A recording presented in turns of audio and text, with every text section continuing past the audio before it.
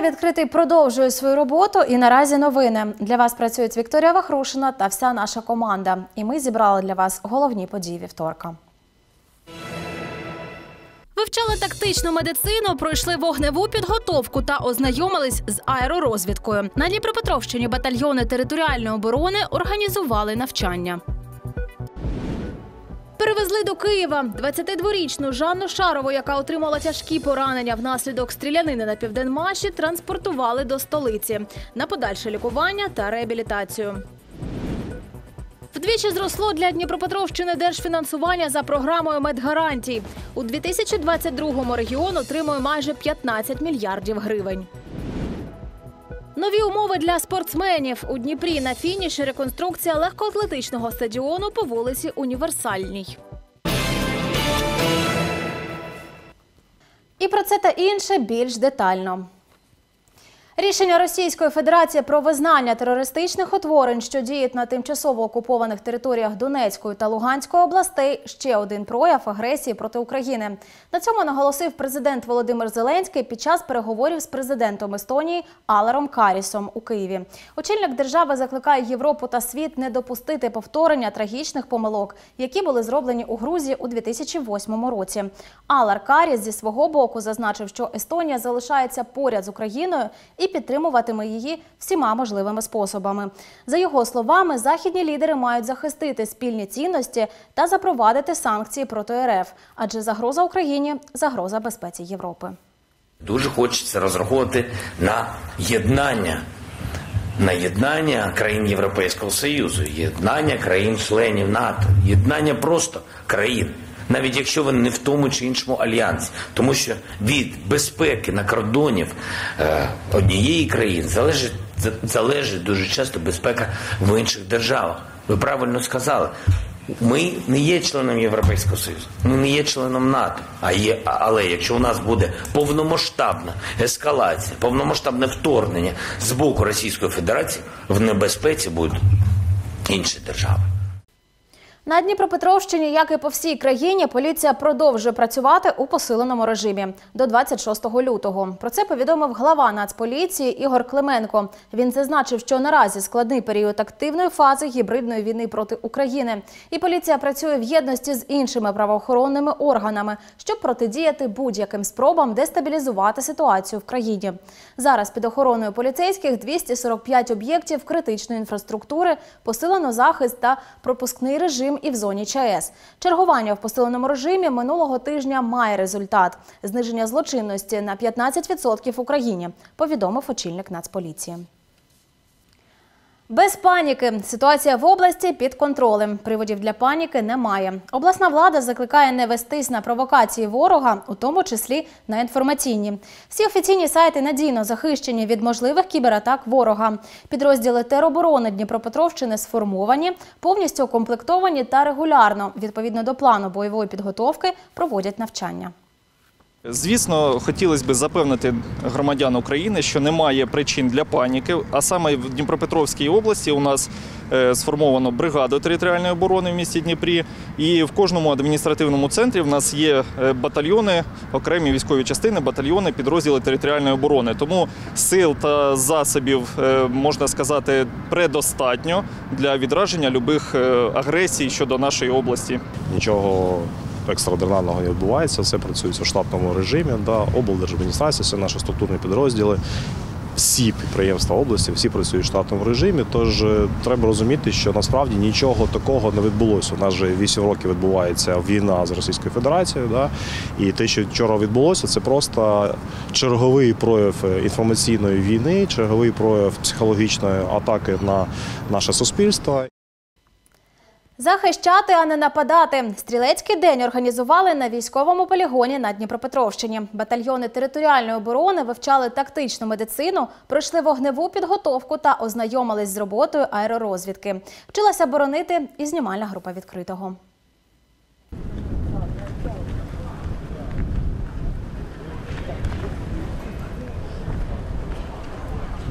Резервістів перш за все вчать правильно пересуватись. Це одне з головних умінь в бою. На тренінгу не лише новачки, а й досвідчені вояки. всі навики, всі знання постійно е, потрібно оновлювати, постійно якось набувати нових знань і навиків.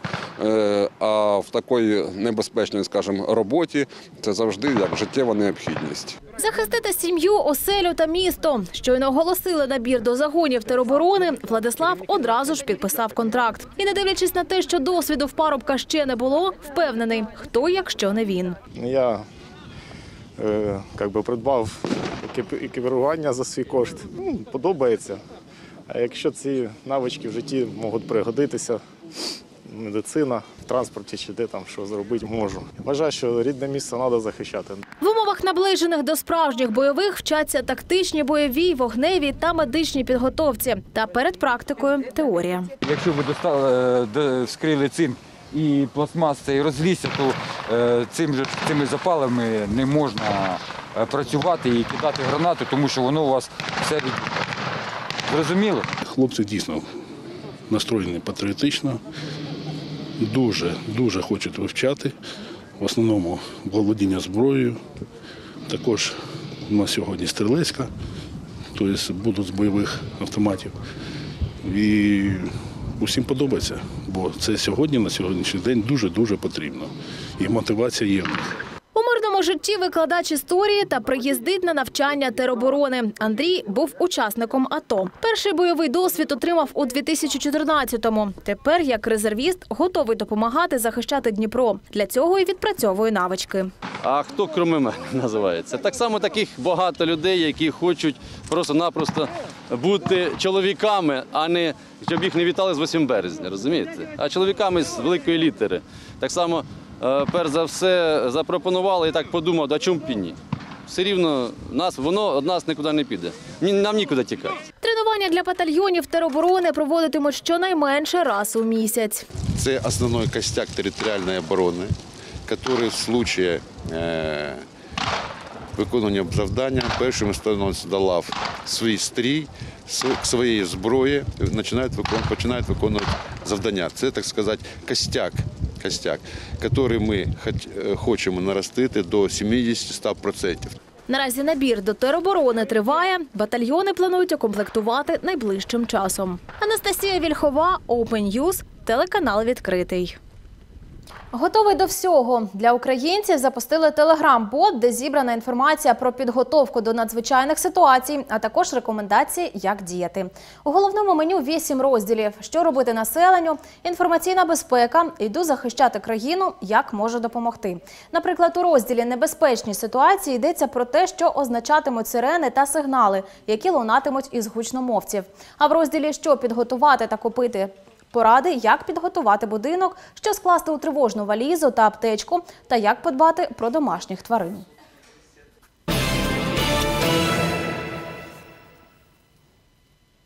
Перевезли до Києва 22-річну Жанну Шарову, яка отримала тяжкі поранення внаслідок стрілянини на південмаші, транспортували до столиці. Про це повідомив директор обласного центру екстреної меддопомоги та медицини катастроф Раді Шевченко. Нагадаємо, 27 січня у Дніпрі солдат-строковик Артемій Рябчук розстріляв колег під час несення варти на підприємстві. Серед жертв Жанна, яку того ж дня госпіталізували до обласної лікарні імені Мечникова в тяжкому стані. За словами лікарів, зараз самопочуття дівчини значно покращилося, і подальше лікування та реабілітацію вона проходитиме в медцентрі МВС.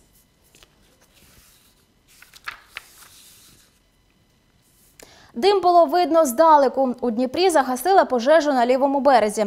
Рятувальники менш ніж за півгодини приборкали вогонь, що охопив металевий ангар в АНД районі на вулиці Артельній.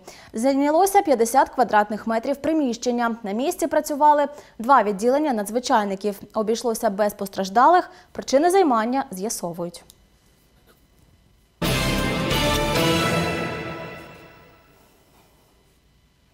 Інший фронт, на якому Україна веде боротьбу – ковідний. Майже 24,5 тисячі нових хворих та 287 смертей. Така коронавірусна статистика в Україні за минулу добу. За даними МОЗ, із короною госпіталізували понад півтори тисячі українців. Найбільша захворюваність у столиці, на Миколаївщині та Дніпропетровщині. У нашій області минулої доби діагностували більш ніж 2 тисячі нових випадків COVID-19. За даними обласного департаменту охорони здоров'я, майже половина недужих у Дніпрі, менше випадків у Кривому Розі, Кам'янському, Новомосковську та Нікополі.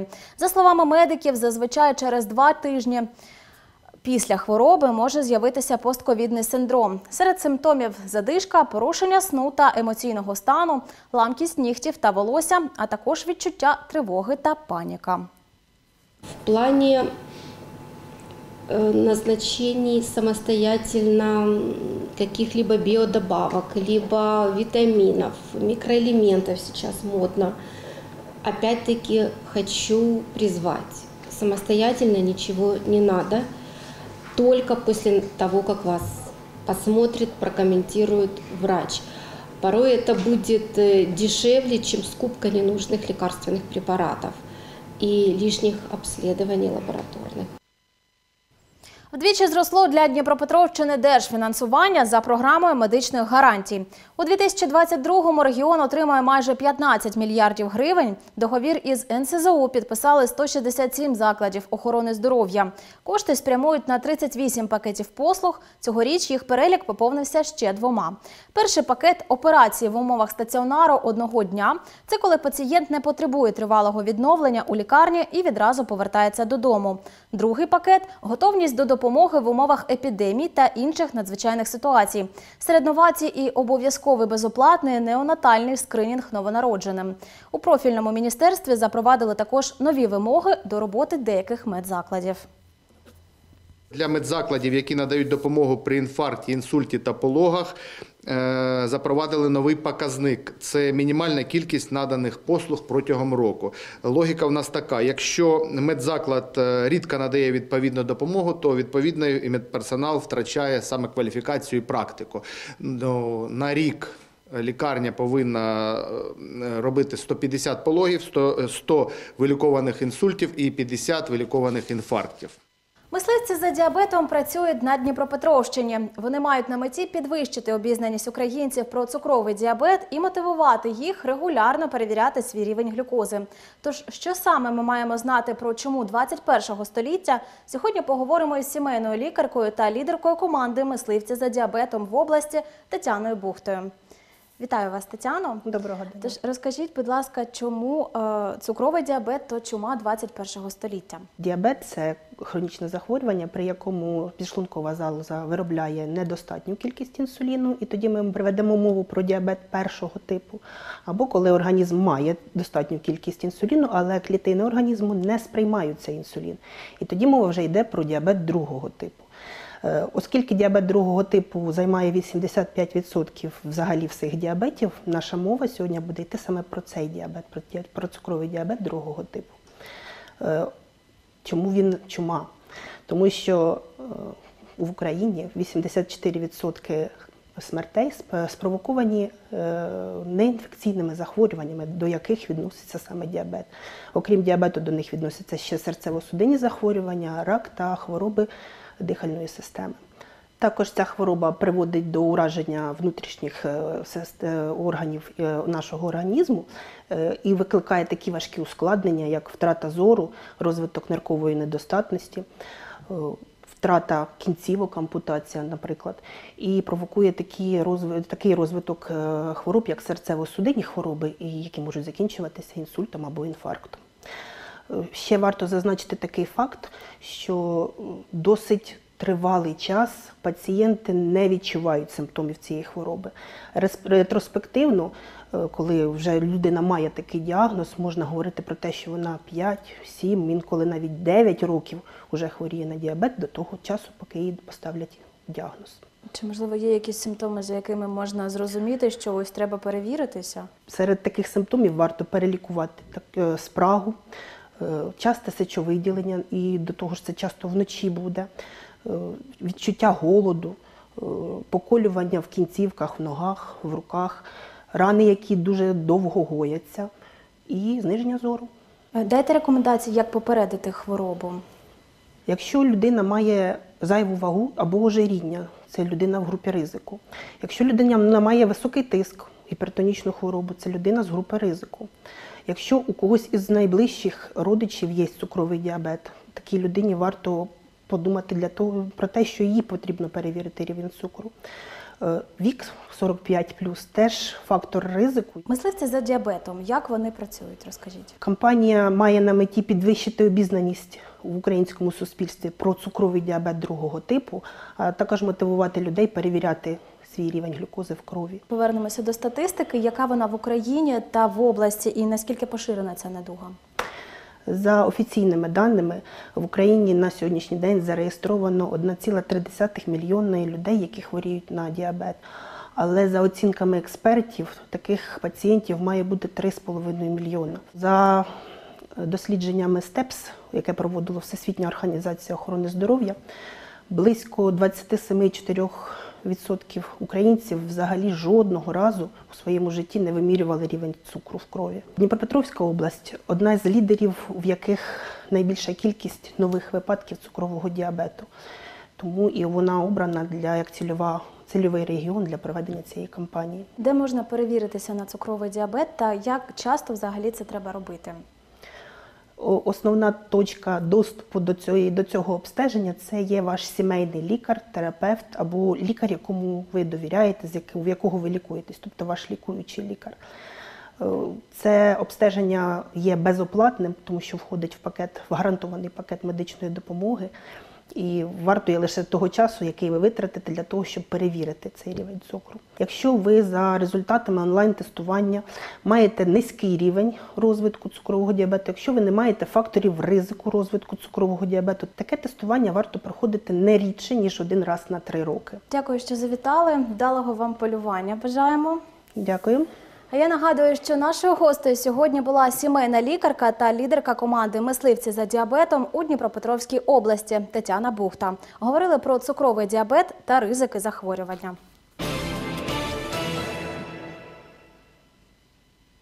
У Дніпрі на фініші реконструкція легкоатлетичного стадіону по вулиці Універсальній. Роботи тут тривають із серпня 2020-го. За цей час проклали комунікації, облаштували доріжки для бігу та зони для метання молота і ядра.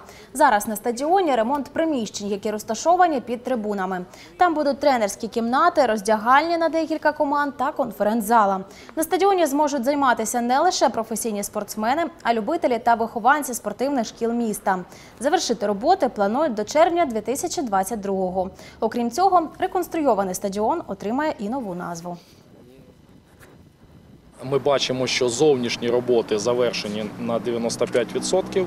Із глобальних зовнішніх робіт е, залишилось це благоустрій навколо е, футбольного навколо самого легкоатлетичного майданчику. Також це футбольне поле з живого газону, яке потребує влаштування, можливе влаштування тільки при настанні певних погодних умов.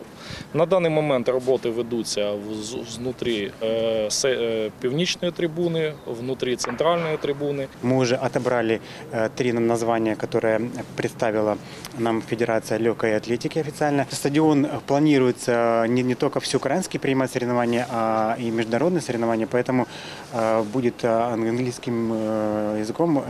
английским э, языком э, название, и поэтому должно быть название статусное, и чтобы э, те э, не только ближайшие страны, города, все узнавали этот стадион по такому названию. Оновлення спортивної бази стимул для нових спортивних висот. Дніпрянки, призерки чемпіонату України з художньої гімнастики. На столичному килимі наші дівчата посіли другі і треті місця в індивідуальній програмі та групових вправах. Медалі у скарбничку збірної поклали семеро представниць Дніпровської спеціалізованої дитячо-юнацької спортивної школи Олімпійського резерву.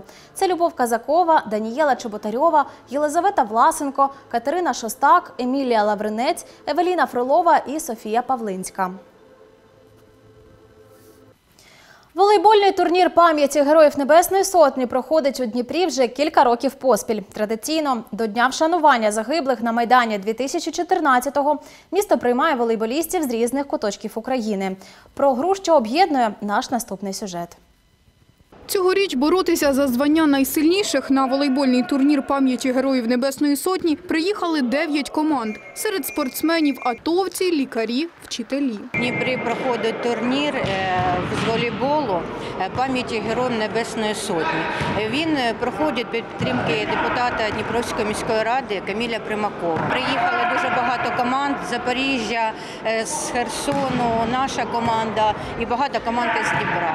А Дуже е, значна подія у місті, е, тому що ми повинні пам'ятати про тих, е, кого вже немає поряд з нами.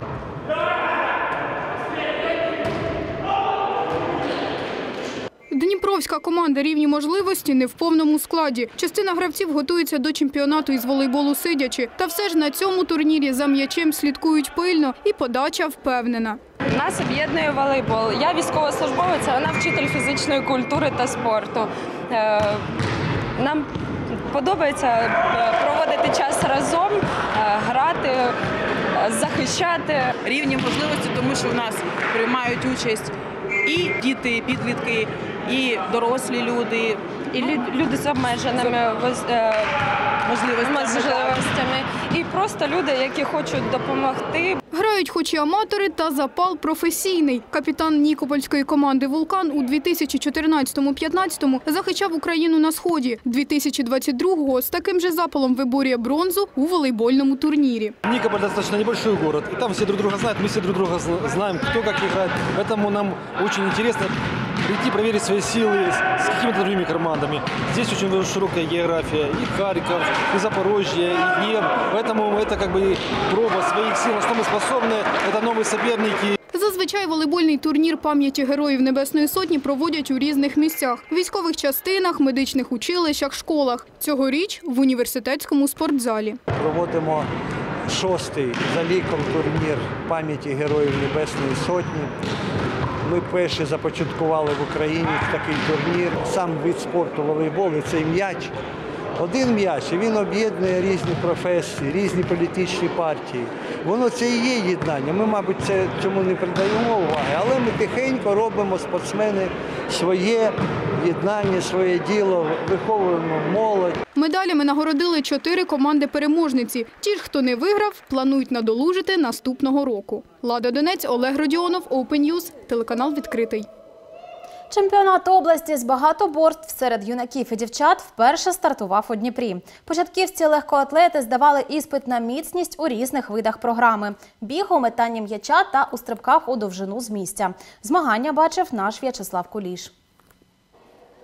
13-річна Елизавета Шапка метнула м'яч на 10 метрів. Легкоатлетка із Новомосковська каже, задоволена своїм результатом. Мне кажется, главное хорошо его взять и даль- как, ну, как дальше прыгнуть, ну и метнуть. У меня, в принципе, все хорошо получилось, но бежать хорошо получилось, прыгать, бе- метать тоже. Все хорошо было. Юному Владиславу усього 10 років, проте хлопчик вже вміє швидко бігати. Зізнається, мріє стати чемпіоном.